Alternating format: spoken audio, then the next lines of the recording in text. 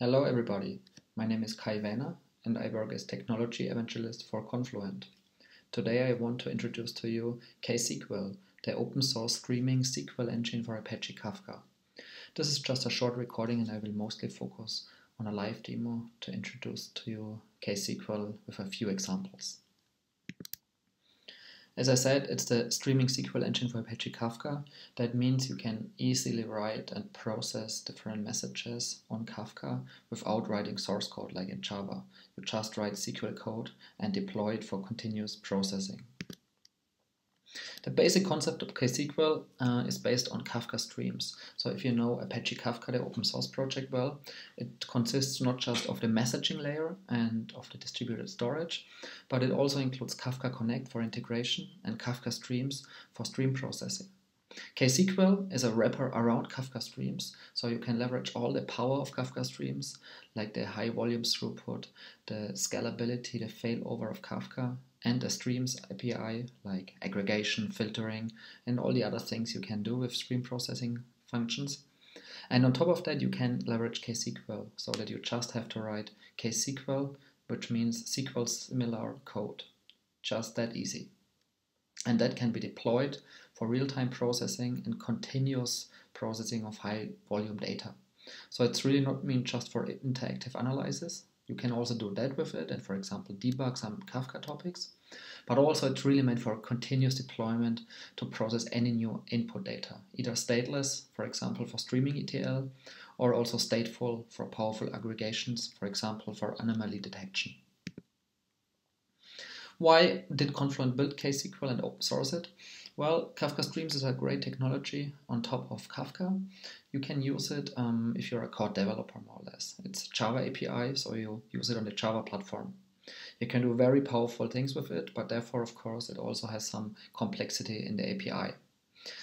For that, we also built KSQL to create a new expanded realm for doing stream processing. With KSQL, you can do very similar things like with Kafka Streams, but much, much easier because you don't have to write the source code. So it's really a great innovative idea for people who don't like Java or Java platform code, or who are not really developers at all, but uh, know how to use some SQL stuff. You also have a REST interface, so you can even use KSQL from another language like Python or .NET or something like this. There are of course some trade-offs. So um, with the native consumer and producer API, for example, for Java or also for other uh, languages, for example, we have Confluent APIs also for Python, Go, or C, C++. Um, this is very low level, therefore of course powerful, but you have to build more by yourself. The Kafka Streams API um, is a wrapper around producers and consumers with some more smart logic for doing stream processing and local state management and all these things you need for aggregations and powerful streams. And then the most simple uh, scenario is KSQL, where you really, as you see here, just write SQL-like code and deploy it for continuous processing. There's always a trade-off and you have to choose the right one for your problem. KSQL is equally viable for small and very large use cases. That means you can develop on your laptop, but then also on small server clusters, and then even really extreme large scale in the cloud or so. So like Kafka, Kafka Stream scales absolutely well, and so you can use it in any kind of use case and scenario. And very important, KSQL is ready for production already, including 24-7 support. So it's really meant to be used in mission critical deployments. With that introduction, let's now really focus on the live demo. Um, you typically start the KSQL server, which is a node or two nodes or 10 nodes, depending on how you want to scale. And then you use um, the KSQL client, where you um, do the interactive analysis and also then the continuous processing of data. In this example, we will use clickstream data to analyze users and page views and their ratings. This is typically how you develop, and that's what I will do in a live demo in a minute. You create different streams and tables and select queries. Of course, there is also a nice web UI. Um, this is part of Confluent Control Center. Here you can do um, the development and analysis in the UI in the web browser. Um, it's simply uh, the same functionality in a different uh, view. And here you have great things, for example, um, like auto completion, as you can see on the right. And this here is just the beginning, so this will get much more powerful in the next months and years. With that, let's now focus really on the live demo. how to use KSQL, what it is, how to get started, and all these kind of things. So for the rest of the presentation, more or less, I go to my command line interface in the terminal. First, we need to start Kafka, so I really start from zero here. For that, I use the um, Confluent command line interface, which you can use in development on your laptop to start things up quickly. So, and you also have a lot of other commands as you see here. In our case, we are just starting some components of Kafka. So here I say Confluent start schema registry. And this starts the schema registry and all of its dependencies, like the Zookeeper and the Apache Kafka broker. We could actually also start KSQL here in this command, but I wanted to show you the, the specific explicit command of starting it like you would do it in production scenarios also. So, um, but if you want to do local development, you can even start KSQL within this in just one command. So here now we have started everything we need. We need the Zookeeper, the Apache Kafka, and the schema registry. These are the three components we need to use in addition to KSQL. So with that, let's now go to the next one. Here we see um, this is the server which we start. Here you see um, this is the um, command line script for starting the server, and we also give it a server properties. This includes things like the Kafka brokers. So in my case, they run locally, but of course they could also run somewhere else. Now, in addition um, to starting Kafka and KSQL, we also want to start some test files. Um, we create some generated data because streaming is always continuous processing on events. In this case, we have users. They are in JSON format in this case. So we, by intention, now use different data sets to show you how to use KSQL with them. And here you see how it continuously generates user data for clickstream. The same is done um, what we do for page views um, for each user. And in this case, these are delimited, right? So we use different um, data formats. And the third one is the ratings. The ratings is Avro format. So this is again another one, and we will see its advantages later in this demo. So now we're generating all the data, and with this we can now start our command line interface for KSQL. As I said, you could also use the UI if you want. Here now we are in the command line interface, which connected to the KSQL server. In my case, I have only one server, but of course you could also have a huge cluster of many ones. Let's take a look at what we can see here. For example, we can also use it for analysis and debugging. Here we see all the Kafka topics we want to use. Here we see some internal topics, but also then the page views, ratings, and users. So here you see it's just all hello world with only one partition or so for playing around with it. Um, so you see the, the usage is like a normal command line interface. And now um, we can, for example, also see the data, like we can do print page views and this is one of the topics which we created before from beginning. And now here you see the stream of data which is continuously processing data. And I also need to stop that with Control C. After seeing some data, let's create a first stream out of that. So right now the page views is just in a topic, and we now need to create a stream out of that. That's page views original, for example, and we have to give it some structure, like the view time, bigint user ID varchar page ID varchar. This is the structure now of this topic which we use for the stream and we use it with the Kafka topic page views. Page views. So this is how it looks like and with that we also need to add a value format and in this case you see it is delimited. So this is the um, first stream we create. Here we see our stream was created. We can show all the streams. We just have one right now and in delimited format. Now we can also describe it. For example, so page views or original. So it's a typo also, that's okay. Original and you also have to use a semicolon and here you see now the structure. It also uses the row time and the row key which is um, it receives from the Kafka topic. With that um, we can now go to the next step. We can now do a query select page ID user ID from page views original original limit 10 let's say so here you see now how it continuously selects the queries, but in this case it stops with 10 because otherwise it would be real-time processing continuously until you stop it because typically we do not want to use analysis, but we have to deploy it for continuous stream processing like ETL and so on, where you do really continuous processing of every new incoming event. So um, this is um, a stream for the um, page views original. Now let's also take a look at the users. Um, here we can also set from beginning and see this um, as JSON data, right? So um, with this, we create now a table, which is another construct in Kafka streams and KSQL. So here, original, we now um, define a table. The difference between a table and a stream is that the table um, only stores the most updated way. Similar to a relational database.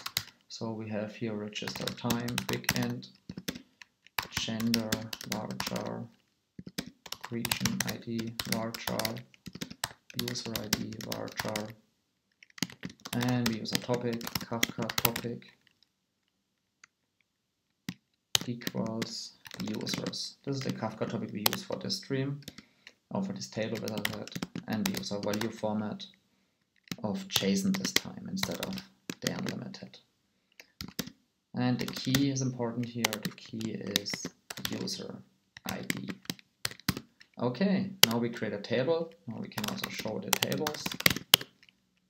And we can of course also describe users original. Here we see the structure of this table.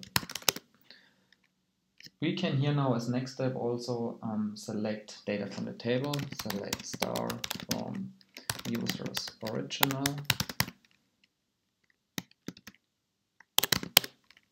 and now it continuously queries this. So it is, I also have no limitation here, so it continuously queries forever in the end, right? Because typically we do not want to just select the data, but also, for example, process it with a filter, transform, or aggregation. But here now I do Command C for stopping this. After that, um, we can now, as next step, show how to combine these. So for example, I can create another table, female users as select star from users original where gender equals female. So here you see now a combination of a stream and a table. Let's see how it works. This looks good. And now um, we can also list topics with this. You can see now um, we also have a new topic here. In this case, um, because this is a new table, which we select as from existing ones, right? So now we create a new topic with new data. This is the same what you use for aggregations or streaming ETL when you want to create new data out of that. And with that now, we can, for example, do select uh, star from users limit 3, for example. This selects the next three events which are coming here. And after that it should stop it.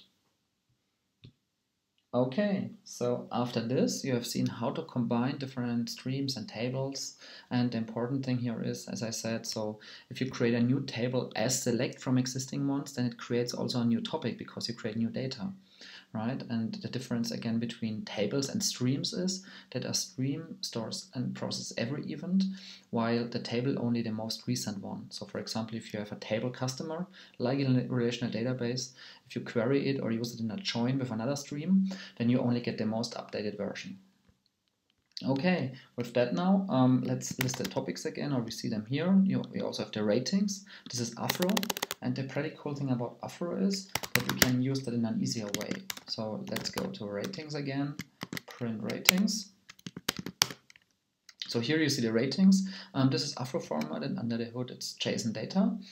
And the great thing now is if we want to create a stream from Avro data, we can create, we can say create stream and ratings. So this time again, it's using the existing ratings topic, right, with Avro.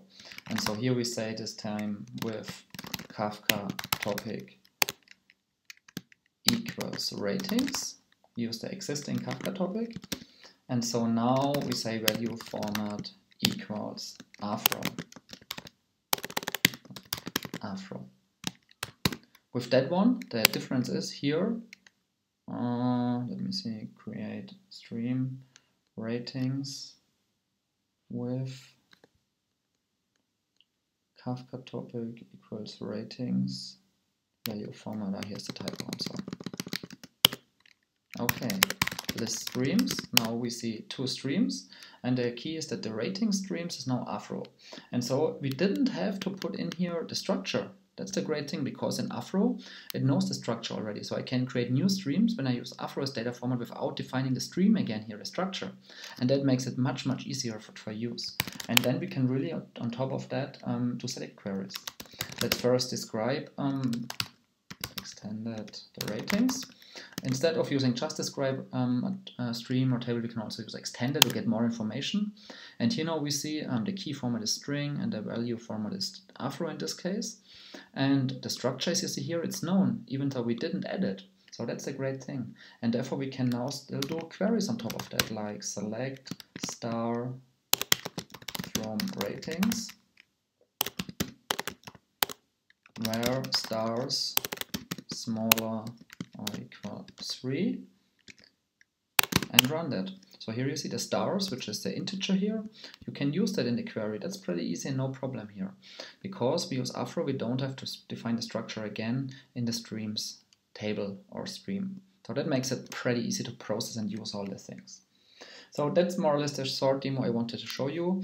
Um, KSQL like Kafka Streams is much more powerful. You can do things like aggregations, for anomaly detection and all these things.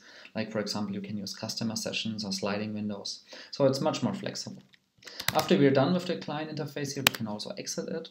And the same what we did in the command line interface, you can do via REST and for example from another language like Python or um, whatever language you want to use. So here now, um, let's stop the data generators and um, also stop the KSQL server and finally, we go back to the Confluent CLI where we still have all the stuff here running. So let's say Confluent destroy.